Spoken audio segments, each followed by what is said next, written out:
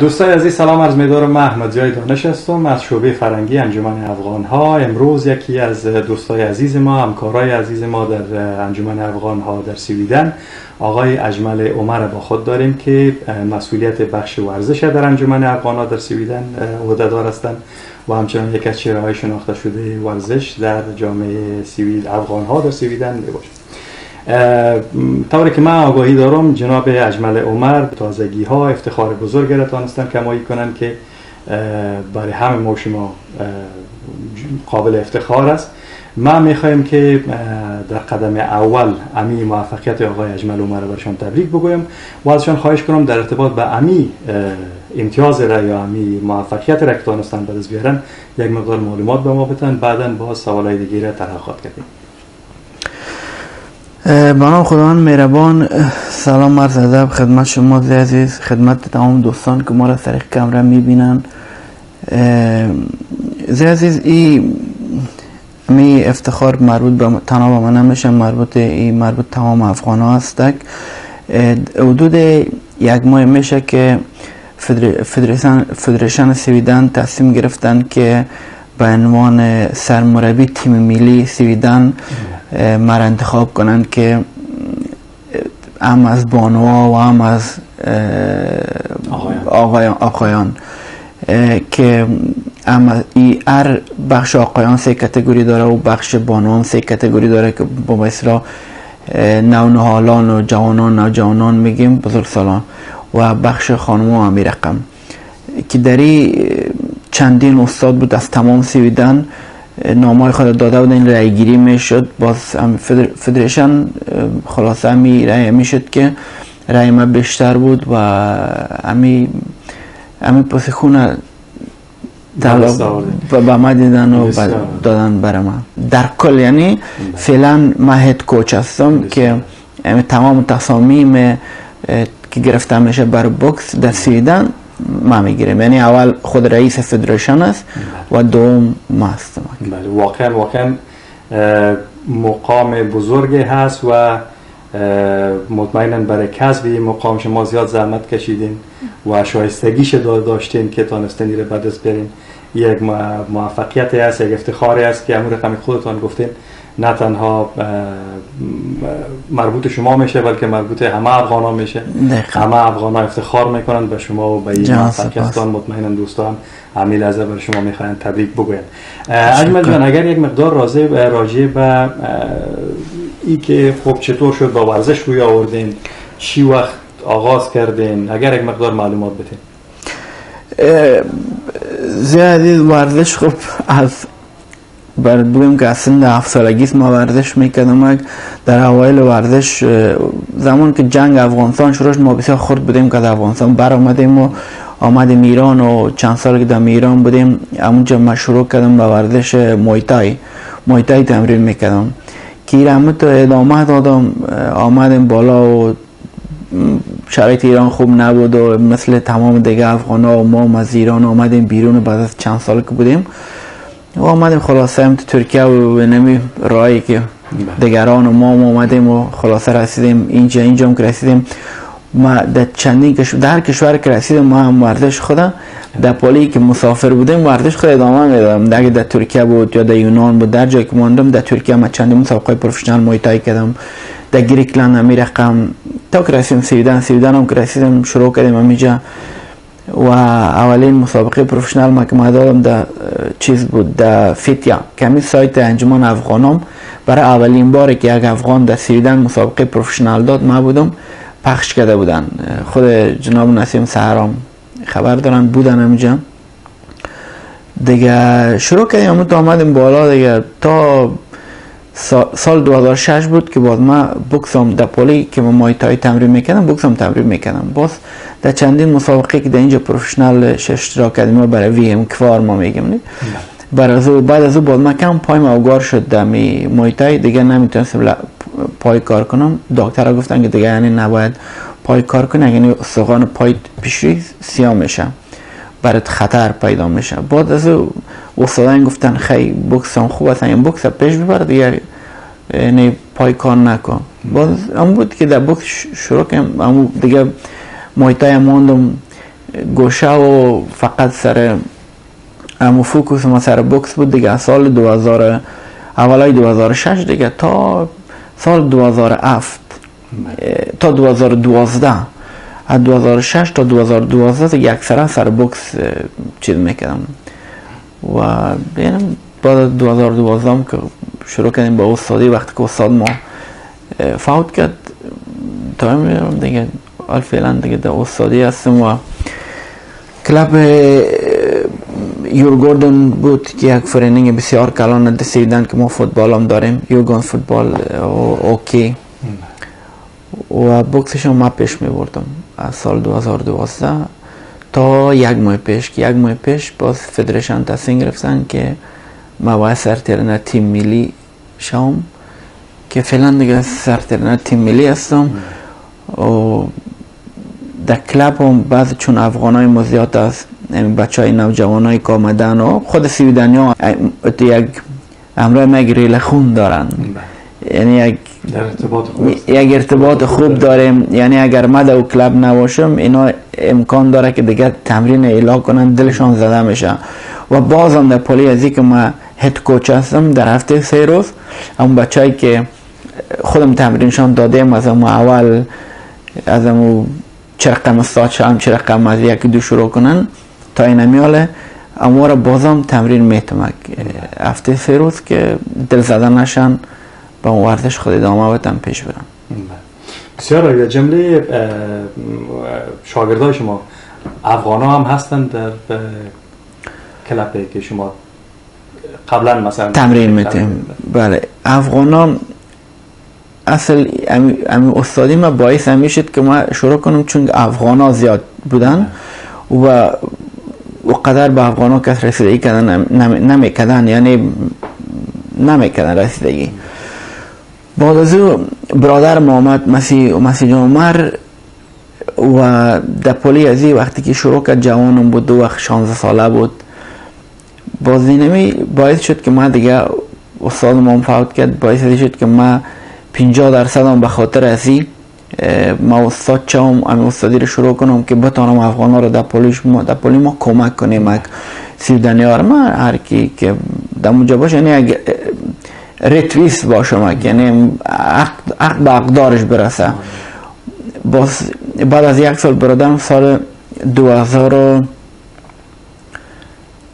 سال 2013 بود که قرمان سیودن شد در نوجوانان وزن 60 کیلو.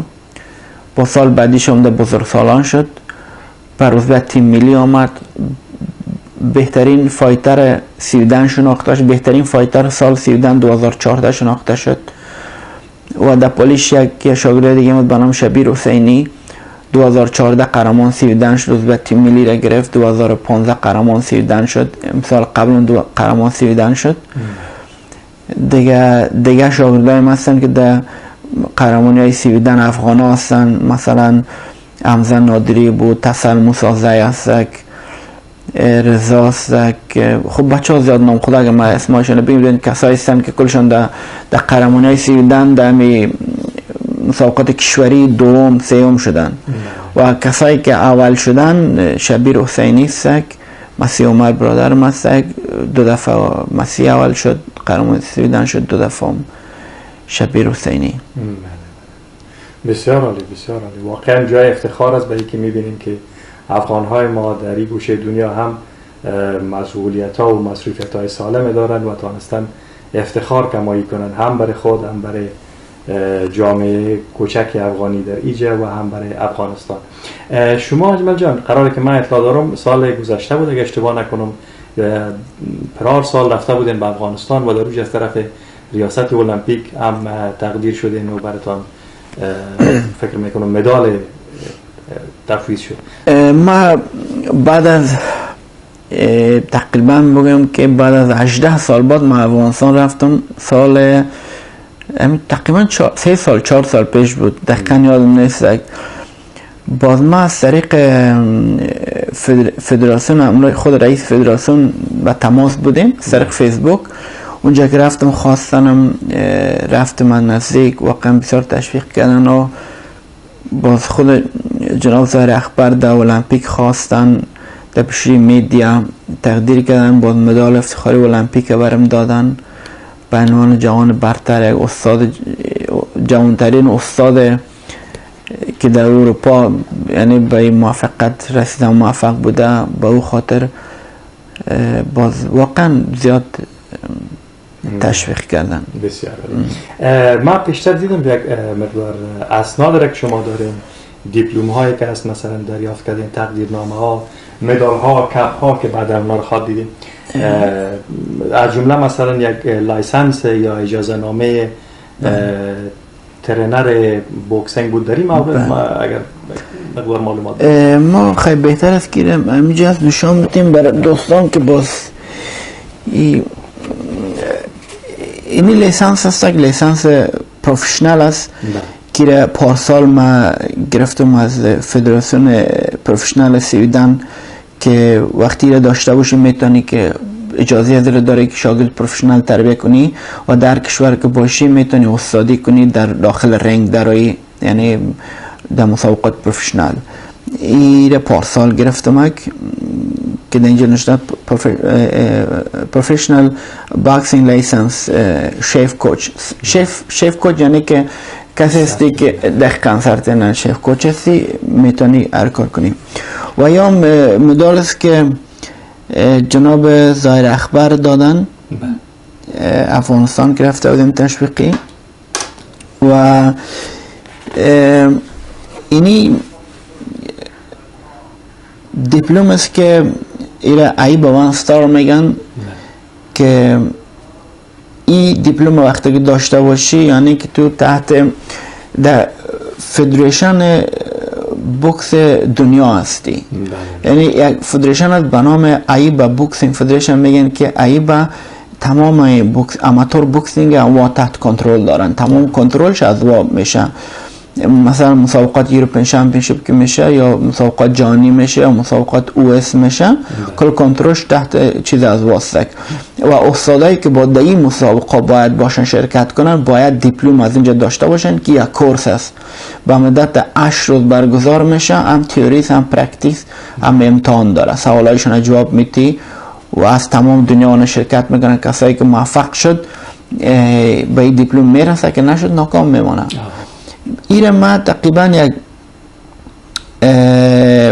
خدا گردن مثلا کنه شاید یک شش ماه پیش هفت ماه پیش ایره ما گرفتم که رفته بودیم بر کورسش. از سیویدن تقریبا هفتش نفر بودیم که چند نفر ما قبول شد چند نفر نشد. ایره گرفتیم که فعلا حال ما ایره دارم. می‌تونم که در او هم یعنی کوچ باشم. و یعنی در مسابقات المپیا در مسابقات المپیا دقیقا. المپیا مسابقات قهرمانی جهان مسابقات قهرمانی اروپا. من می‌تونم که یعنی باشم اونجا یعنی به عنوان کوچ بله. و اینمی باعث از شد که من ایره موفق شدم گرفتم بله. که باز فدریشن پیشنهاد از ایره کردن که یعنی وقتی که تو تانیس ایره بگیری یعنی باید سرتیم ما می‌خواهیم که یعنی خودت هد کوچ تیدن شوی یعنی سر ترنر تیم ملی شوی. و اینی دیپلم است که دستت هست برام دادن به عنوان ungdomsledare که سال قبل زیاد بچه جوان بود که آمده بودن واقعا زیاد ما کمکشان کردم. در کلاب ما زیاد بودن و از هر لحاظ یعنی ما کمکشان می‌کردم نه تنهایی که با بوکس رای عمقی که خود ما اطلاعات داشتم در هر لحاظ کمکشان کردیم و این هم دیپلمایی است که هر سال که ما یک شاگرد ما قهرمان سیویدن شده بله. با فدریشن و امی خود فرینینگ یورگوردن. که مرکش است. یک دیپلوم میتبرد برام داده که یعنی تایید کردن که یعنی یک استاد هستی و یک تشویق. تشویق نامه است که از سال 2014 تک مسیح عمر است که در اینجا به خاطر از او که اول شد قهرمان شد در سال 2015 به خاطر مسیح عمر هستک؟ در سال 2016 به خاطر شبیر حسینی است و 2017 شبیر حسینی است که یا چهار تا چهار بار قهرمان سیودن شدن به خاطر ای چون شما ترینرشان دقیقا دقیقا دقیقا خوب اجمل جان طوری که شما مطلع دارین تعداد یک تعداد زیادی از جوانای ما از افغانای ما در طول یعنی دو سه سال آخر به سیویدن آمدن درخواست پناهندگی دادن و پناهنده شدن. متاسفانه یک تعداد از جوانای ما در عالم ناامیدی به سر می‌برند. مایوس شدن از اینکه مثلا نتانستن زودتر جواب اجازه اقامت به دست بیارن. برخی ها مثلا متاسفانه منحرف شدن رفتن به طرف مواد مخدر و اینا. ولی هستن اقتداد زیاد از جوانای ما که می‌خواین با ورزش روی بیارن. و علاقمند هستن که در اشتهای مختلف ورزشی مثلا استعدادم دارن می‌خوان در اشتهای مختلف ورزشی فعالیت داشته باشن. نظر شما به عنوان یک هموطنشان و همچنان به عنوان یک ورزشکار و یک شخصی که وارد جامعه سیویدن شده چی از پیامتان در کل برای همین جوانای عزیز؟ جناب عزیز پیام برای ای, ای در جوان همی است که هیچ وقت نباید مایوس شوند. یعنی ما انسان هستیم کاری که ما خود ما بخواهیم می‌تونیم بکنیم. یعنی خواستن توانستن است. جامعه سیودن هیچ کس را بزرگ بیرون نمی‌کنم اگر کدام کار خلاف نکنی یا طبق غیر قانون از یا رفتار نکنی.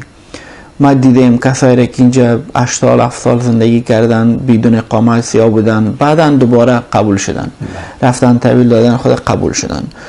و ای که اصلا به همین مشکلات یا تسلیم نباید شوند و ورزش به خاطر ورزش اونایی که می‌خواین ورزش کنن علاقمندی به ورزش دارن امکانات ندارن ایره ما به ها بار گفتیم حتی در سایت افغان ها در هر جلسات که بوده ما, ما بعض وقتا به کمونا فور لسنینگ دارم در مکتبا.